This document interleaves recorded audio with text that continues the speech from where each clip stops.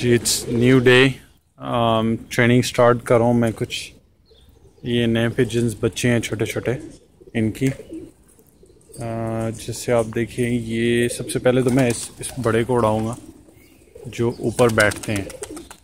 क्योंकि अभी जो भी बच्चा अगर इधर से उड़ेगा तो वो ये देखेगा कि ऊपर कोई छत पे बच्चा बैठा हुआ है या नहीं।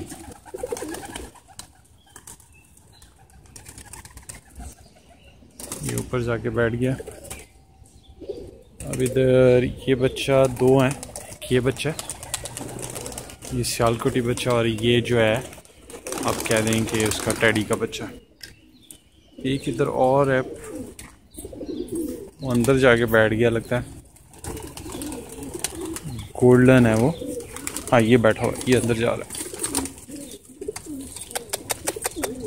हा, हा, हा, ये जिसको मैंने जहरबाद क्योर ये बच्चा। ये देखिए दोस्तों, इस तरीके से आप छोड़ सकते हैं कबूतर, जो जाके ऊपर बैठ जाए। ये टोटल अभी उस, इस वक्त ऊपर पाँच और एक छठा इनके पीछे जाके बैठा हुआ है। तो अभी मैंने ये बस ये नीचे से उड़ा के ऊपर भेजे हैं। तो लाइक इसी तरीके से मैं रोज़ पर डे के हिसाब से like five ten minutes fifteen minutes इनको ऊपर बिठाऊँगा। और आप फ़ीड यूज़ कर सकते हैं जब भी आप चाहते हैं कि ये नीचे उतरे। अभी ये जैसे बड़ा कबूतर है, ये खुश है इस वक्त। मौसम बहुत ही अच्छा है। तो ये वन बाय वन उड़ेंगे लाइक खुश होता है कबूतर जब उन, काफ़ी ऊँची जगह पे जाके बैठता है।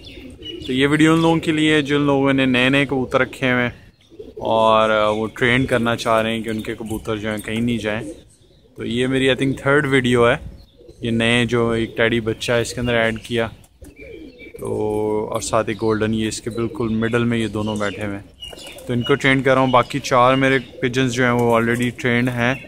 सिक्स हो गए हैं। अभी मैं कोशिश ये कर रहा हूँ कि अभी ये थोड़ा सा उड़ें। पानी वगैरह मैं चेंज कर रहा था कबूतरों का। सुबह दो दो से तीन दफ़ा मैं पानी चेंज करता हूँ। उससे ये है कि आजकल कबूतर जो वो इंटैक्ट ज़्यादा कर रहे हैं। नॉर्मली अगर आ, एक बर्तन आप इनको पर डे के हिसाब से देते हैं वो वाला तो फिर तीन देने चाहिए गर्मियों में। गर्मियों में पानी ज़्यादा कबूतर पीता है। और अगर आप इनको नहीं देंगे पानी ज़्यादा तो एक पंजाबी में हम लोग कहते हैं इनको एक बीमारी लगती है उसको कहते हैं ता लगना। अगर वो ता लग जाए तो ये गर्मी लग जाती है बेसिकली इनको। और इनकी जो पोर्ट होती है वो खाली पानी फुल हो जाता है। तो वहाँ पे वो पनीर वाला पानी यूज़ होता है। और वो ऑलरेडी मैंने आप लोगों को बता दिया हुआ है, गर्मियों में आपने क्या इनको पानी देना है। और कोशिश करें कि इनको पानी ज़्यादा से ज़्यादा दें और दो से तीन दफ़ा आप इनको पानी ताज़ा दें, जो ज़्यादा गर्म नहीं हो और ना ज़्यादा ठंडा हो। नॉर्मल जो होता है पानी। मैंने भी बस पानी चेंज करके इनको दिया हुआ अभी ये सारे बच्चे जो रेडी हो रहे हैं, बाहर आना शुरू हो गए हैं छोटे छोटे थोड़े दिन है, दस पंद्रह दिन और हैं, फिर इन बच्चों को भी मैं इसी जगह पे लाइन में लगा दूँगा। अभी मैं इनको ट्रेन करने की कोशिश कर रहा हूँ कि ये स्टे करें ऊपर।